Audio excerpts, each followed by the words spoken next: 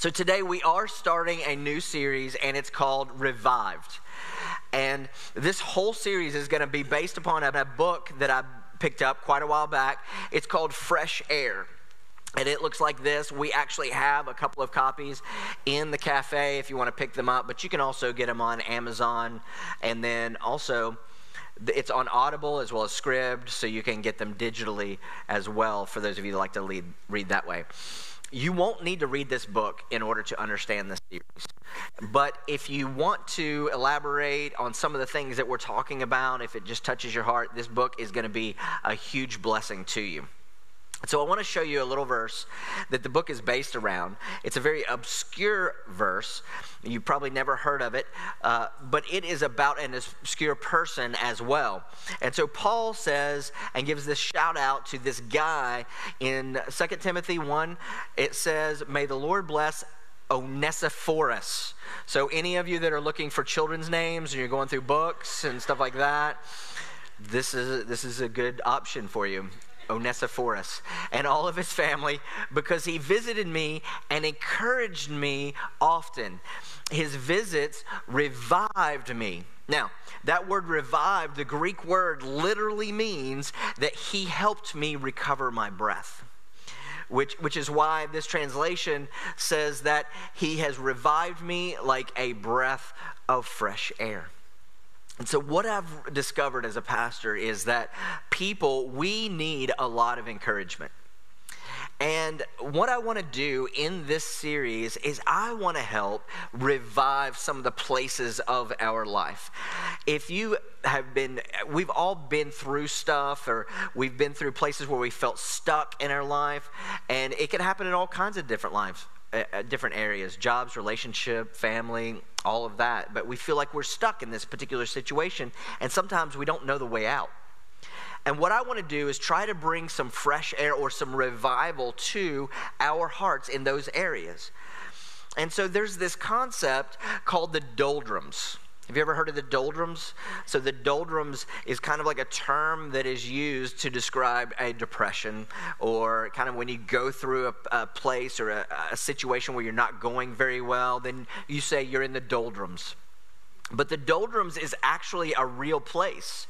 And so you can see, um, we got a picture here. Along the equator, there's this line of clouds right here. That's the doldrums.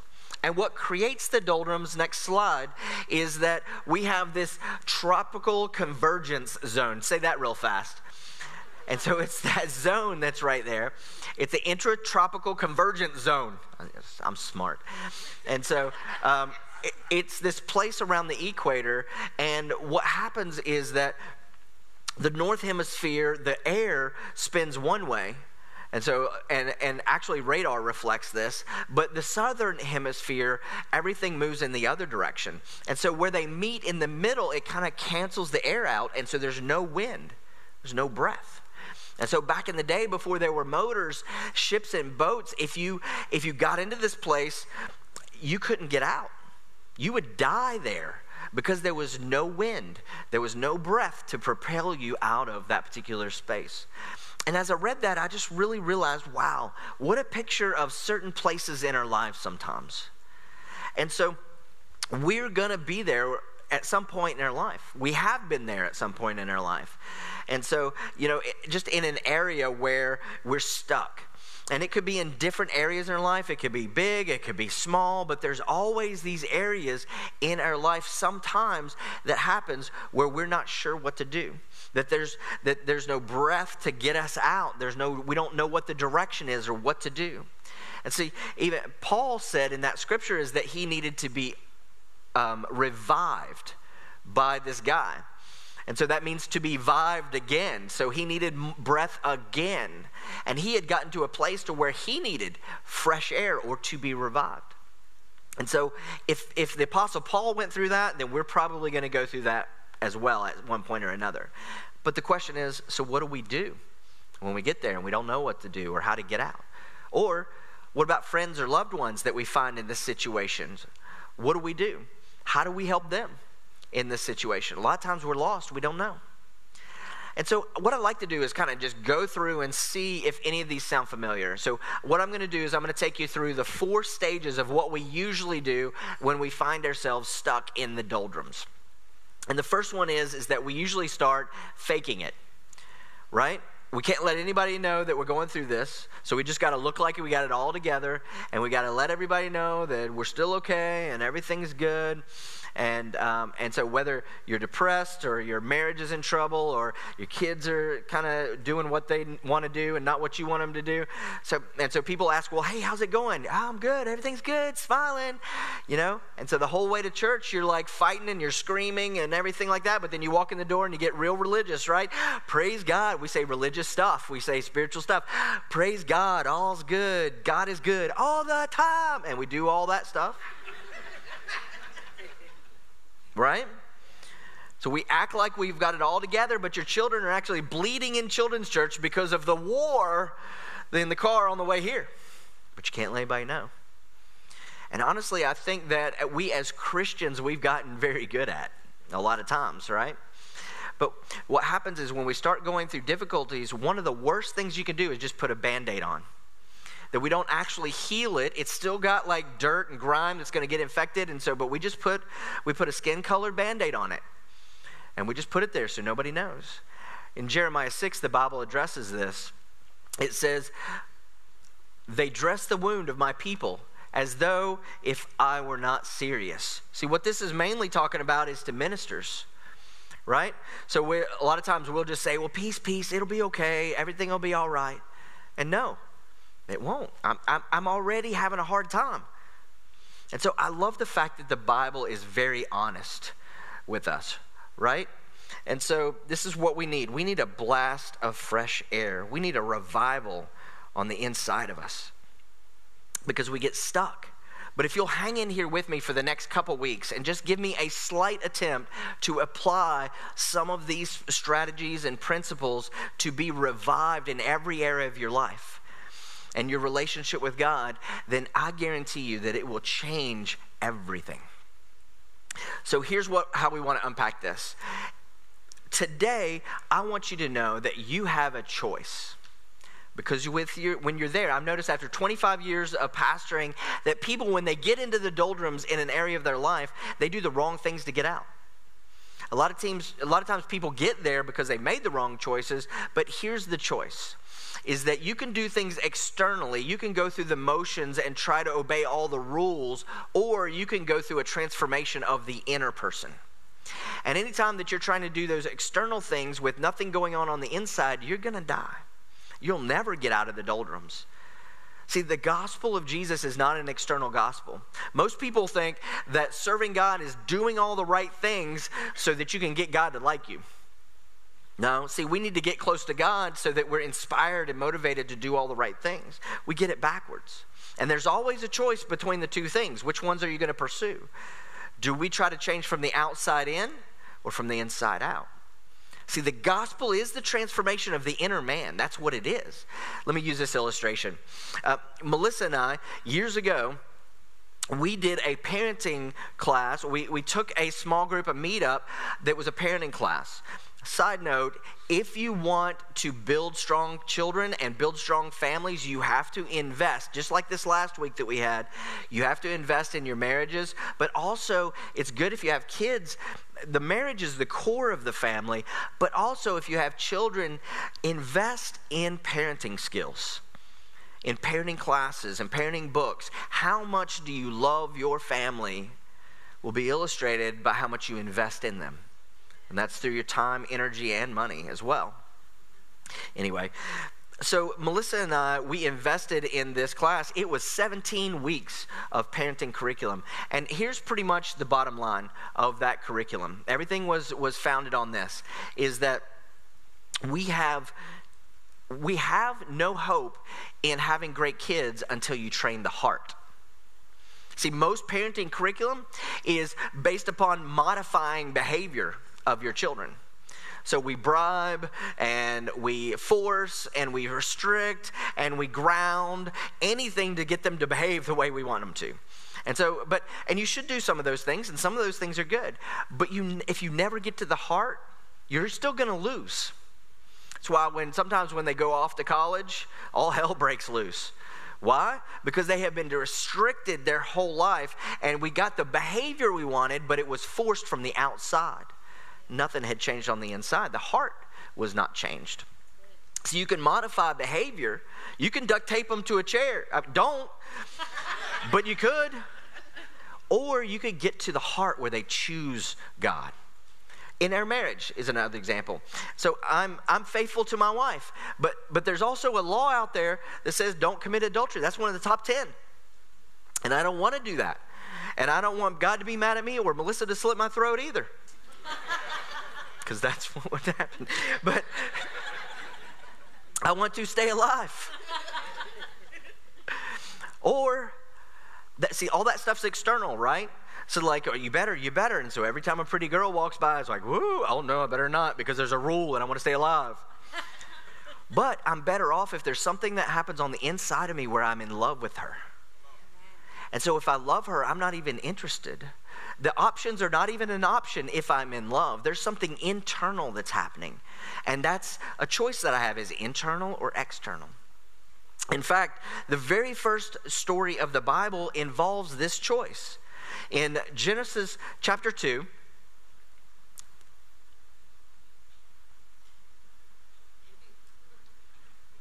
I think we go backward. Did we skip? There we go. Did I skip a point? I did. Oh, look at me. I'm skipping stuff. All right, well, let's just pick up here. So, in the middle of the garden, there was a tree of life. There was a choice that was there. And so there was the tree of the knowledge of good things and bad things. Seems to be this gravitational pull of all mankind to go to the knowledge of good things and bad things. Just tell me what to do. Just external. Just tell me what to do. But nothing had happened on the inside.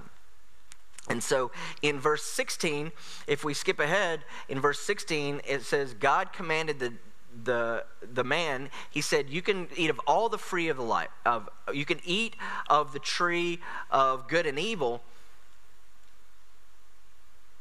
You can eat of any tree in the garden but you must not eat from the tree of the knowledge of good and evil.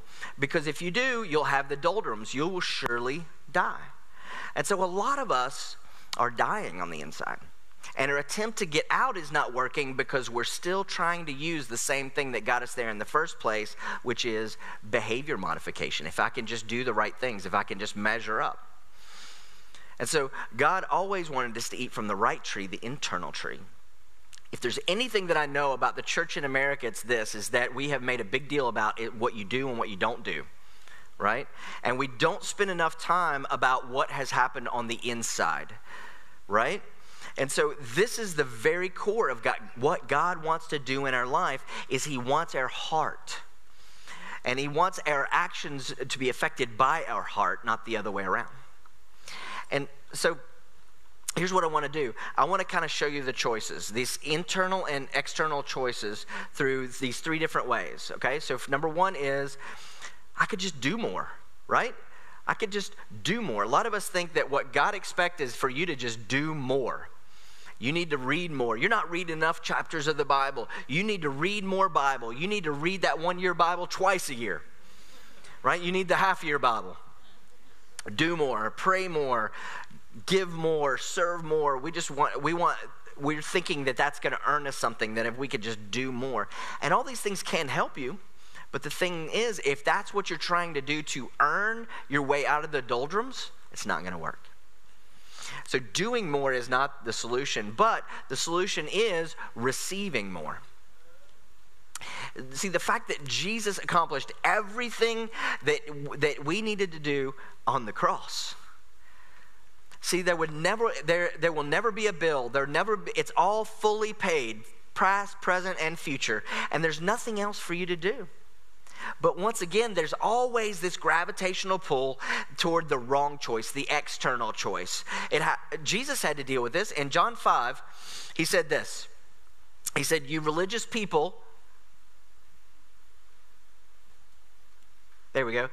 You diligently study the scriptures because you think that by them you're going to possess eternal life. See, this is huge. He says, You missed it. These are the scriptures that testify about me. See, you thought reading a bunch of the scriptures is what you need to do. No, no, you were supposed to find the person behind the scriptures. And that's me, Jesus said. In other words, you refuse to come to me and have life. We have to realize that it's not how much you read, it's the person behind the scriptures. Do you meet him? Do you discover him? And if you do, you get revived. Second choice is this some of you think that God is mad at you. And a lot of you grow up with the with the Wizard of Oz kind of God, you know? It's like, you know, he'll help you, but he's really grumpy about it. Right? He's got the big green face, and what do you want? You know, I just want to go to heaven. I don't know. Was like, go find me a broomstick, you know. So there's this this kind of a thing. It's like, what do, what do you want me to do, God? And so we've got this thing where we have to earn his approval. He's going to be mad at us if we don't. And so I want to make him like me because he doesn't inherently like me, so I have to measure up. When I was a kid, uh, my parents would always witness to people with these tracks, and you'd handed out these tracks. And so there was this guy named Jack Chick and he wrote these little chick tracks. Some of you might remember them. There were these little cartoon tracks. And so there were all these pictures of God, and God was always this giant faceless figure. And so and it's like all these little people and all these little tiny ants at the bottom.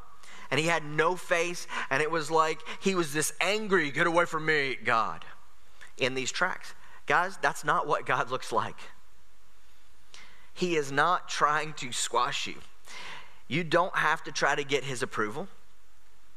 And so here's the other choice that you have is that you got to realize that he already loves you. And you've got to know that he already does. See, God knows what you did this week. He was watching you, but He still loves you. Now, He might not like what you did, but He still loves you. And in fact, the more that you do that, it's like its heart is drawn even to you. It doesn't turn Him off. He's not freaked out. The Bible says that when Adam and Eve chose the wrong tree, He went looking for them. Why? Because He was already in love with them. He eh, listen, if he had a refrigerator, your picture would be on it. That's my boy right there. That's my girl. That's what he would say. Because he's already in love with you. One of my favorite verses in the in the whole Bible uh, says this, but God demonstrates his own love for you in this. This is what he did for us. And I can just imagine this conversation between the Father and Jesus. Hey, let's do this. Let's die for them while they're still spitting on us. Let's die for them before they accept us. It says he demonstrated his love that while we were still sinners, he died for us. So he wasn't laying there and just got, no, no, no, don't hammer my hand yet. Are you going to choose me? Are are you going to accept me? No. While we were still spitting on him, he let us nail him to a cross because he loves us. He's in love with us. He's thinking about us right now. Isn't that cool to think about? He's thinking about you. And listen, I don't know what your view of God is, but it's probably been distorted by that other tree, by that other thing, that external thing. So the last one is that we can obey out of duty, right? It's like, don't you miss church, because God won't like you if you do. Yeah, I know. I knew a guy when we grew up. He thought he got points for going to church with God, and the more miserable the service was, and the longer it went, the more points he got. It was a really unbearable service, he got lots of points. And I, I, had another friend that thought that's what kneeling was all about, is that God wanted you to be in pain while you pray. That helped you connect with him. What in the world? This is their view of God. We have the wrong mindset sometimes that we've chosen external as opposed to internal. Listen, I grew up a pastor's kid. And the world I remember the world was way nicer to people, way more accepting to people than, you know, in the church, everybody's all serious. And you, I saw you last week and you were wearing your hat backwards, and, you know, that is not a good, you know. And, and it's like, well, let's just, I've got the joy of the Lord. I'm happy. And it's like, seriously? There was this cognitive dissonance between what they said they believed and what the Bible taught and how they acted. I was confused because I would see them. You know, the thing was, is I loved God. I just didn't like Christians a whole lot. You know, and I, I, I grew up with some mean Christians. Some of y'all are mean. You're just mean. And as a pastor's kid, I saw that. I thought nobody in here's mean. It's everybody. It was the other service that all the mean people went to. I remember my parents pouring into the lives of people.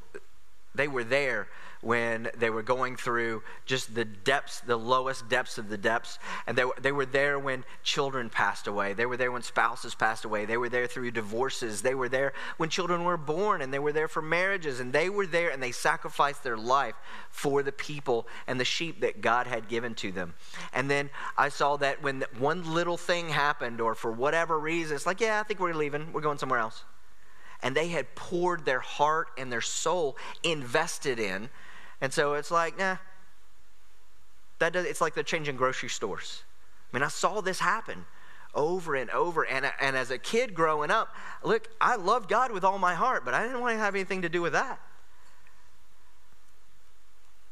But a lot of times, that's because people are trying to measure up from the outside and not realizing that Jesus already paid.